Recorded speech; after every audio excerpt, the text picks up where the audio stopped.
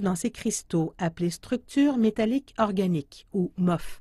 Développés par des chercheurs américains en 1992, les MOF retiennent les substances dures que l'on retrouve habituellement dans le métal, la céramique et le verre. Ils sont aussi capables d'englober des substances malléables souvent retrouvées dans le plastique et le caoutchouc. Ce composé est capable de former une structure tridimensionnelle qui peut capter de grandes quantités de minuscules substances.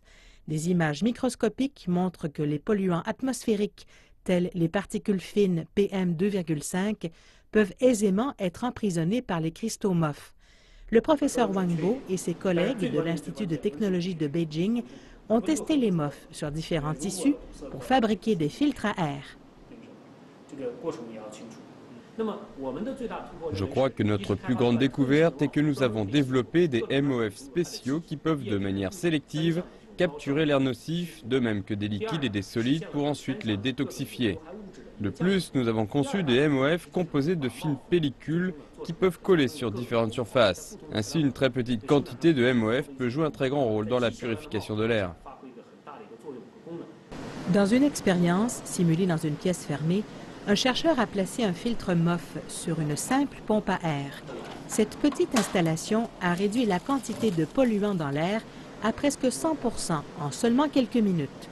Dans un autre essai simulant cette fois l'entrée de contaminants atmosphériques par un appareil de ventilation, le filtre MOF a aussi nettoyé le smog de manière efficace. Mais combien de cristaux MOF faut-il pour fabriquer un seul filtre? Comme exemple, prenons un gramme de ces structures métalliques organiques communément appelées des cristaux MOF. Si nous coupons leurs pores et déplions leur surface intérieure, leur superficie commune est aussi grande qu'un terrain de soccer standard. Leurs vastes pores sont comme un filet extrêmement dense et puissant, capable d'emprisonner les polluants atmosphériques. Et ceci rend la fabrication des filtres MOF bon marché, Wang Bo affirme que la plupart des purificateurs d'air ont des difficultés soit à laisser passer suffisamment d'air tout en filtrant les polluants, soit qu'ils nécessitent le remplacement régulier de leurs filtres. Mais les filtres MOF n'ont besoin d'être remplacés qu'une ou deux fois par année. Je crois que le coût de production est toujours primordial pour résoudre un problème. Peu importe s'il s'agit d'une utilisation industrielle ou domestique, la technologie doit être abordable. La deuxième préoccupation est la durabilité qui est aussi liée au coût de production. Une fois que ces deux questions sont résolues, la technologie peut être largement utilisée.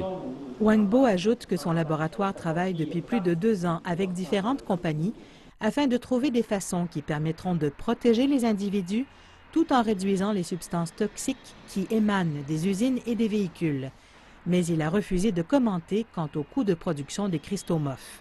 Les consommateurs peuvent s'attendre à trouver en vente libre des purificateurs d'air dotés de filtres MOF d'ici quelques mois.